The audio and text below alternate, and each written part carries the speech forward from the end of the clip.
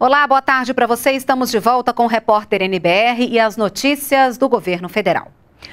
O ministro da Fazenda, Henrique Meirelles, apresentou dados que mostram que o país está saindo da maior recessão da história. Vamos ver. O déficit do resultado do governo federal, sem pagamento de juros, despesas do governo federal, versus as receitas, ah, foi um déficit de 154 bilhões de reais. A nossa meta para este ano 17 é 139. E para 2018, 129.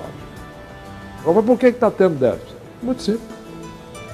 Nos últimos anos, o país entrou numa crise, o emprego caiu, a economia caiu, o lucro das empresas caiu, geraram muitas com prejuízo, o resultado do governo caiu de arrecadação, o governo aumentou nos últimos anos muito a despesa, isso fez com que o país tivesse o déficit, que está caindo, isso é que é importante. E daqui um pouco vai ter um superávit. Estamos saindo da maior recessão né, que o Brasil já viveu, desde que começou a ser medido o produto brasileiro há mais de um século. Portanto, o, o país está melhorando o resultado. Isso é que é importante. Né? Ah, é normal que uma empresa, numa recessão dessa, as melhores empresas possam até mostrar prejuízo. O importante é que o resultado está melhorando, o prejuízo está diminuindo e vai gerar um, um resultado positivo, isto é, um superávit à frente.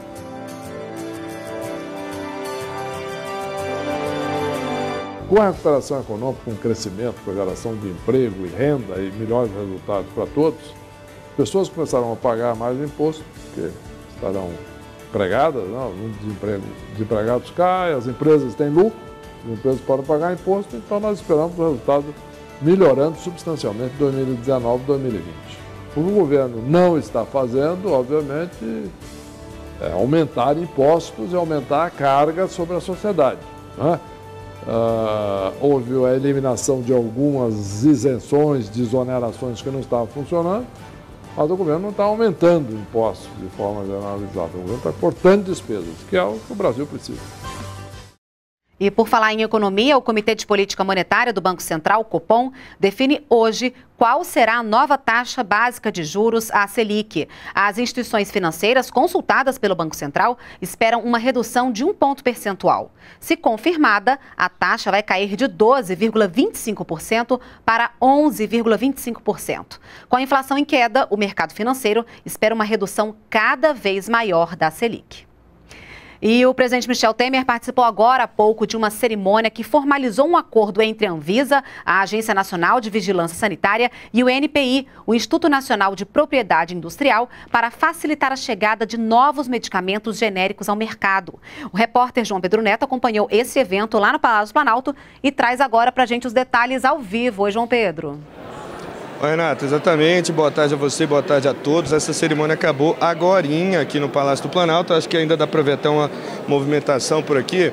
É o seguinte, essa cerimônia foi de, de uma assinatura de uma portaria conjunta, como você falou, da Anvisa e do INPI, o INPE, que é o Instituto de Propriedade Industrial, Instituto Nacional de Propriedade Industrial. Esse, essa portaria ela tem o objetivo de facilitar e agilizar a análise de patentes, de produtos e processos farmacêuticos, também deve uh, facilitar aí a chegada de novos medicamentos genéricos ao mercado. Então tem o, o, objetivo de modo geral é de simplificar e agilizar a análise de patentes impactando na chegada de novos medicamentos, novos fármacos no mercado. De um modo uh, geral, de um modo simplificado, o objetivo é definir mais claramente as atribuições de cada um desses dois órgãos. Né? A Anvisa, no caso, ela vai atuar dando uma anuência prévia, uma autorização prévia com relação aos impactos desse produto ah, na questão do risco à saúde, né? Já, dos impactos na saúde. Já o INPI ele vai analisar especificamente os critérios de patenteabilidade. É um mais específico. Uh, o presidente Michel Temer ele falou nessa cerimônia, fez um discurso rápido, ele destacou que essa medida ela faz parte de um conjunto de iniciativas de desburocratização na administração pública. Ele lembrou também que essa medida vai gerar uma economia aos cofres públicos. Ao todo, mais de 20 mil pedidos de patentes devem ser impactados de forma imediata a partir dessa portaria. Renato, olha só, amanhã aqui foi bem movimentada aqui no Palácio do Planalto, mais cedo. O presidente Michel Temer ele já tinha participado de uma outra cerimônia, uma cerimônia em que ele ah, sancionou quatro leis ah, voltadas aí à questão das mulheres, em favor das mulheres. São quatro leis aí que abordam questões, por exemplo, proíbem o uso de algemas em mulheres grávidas durante o parto e também no período inicial após o parto. Uma outra lei institui aí uh, o mês de agosto como mês do aleitamento materno para chamar a atenção justamente uh, da importância de, dessa questão. Uma outra questão que foi sancionada pelo presidente altera o Estatuto da Criança e do Adolescente para garantir o acompanhamento e a orientação das mães justamente com relação à questão do aleitamento materno e um outro decreto que foi assinado pelo presidente estabelece aí um indulto especial às mulheres por ocasião do Dia das Mães. O presidente Michel Temer, nessa cerimônia que tratou aí desses atos em favor das mulheres, ele destacou a iniciativa das parlamentares em buscar a aprovação de medidas como essa, disse que há mecanismos de valorização das mulheres em toda a sociedade e lembrou aí que as mulheres são agentes de transformação do país.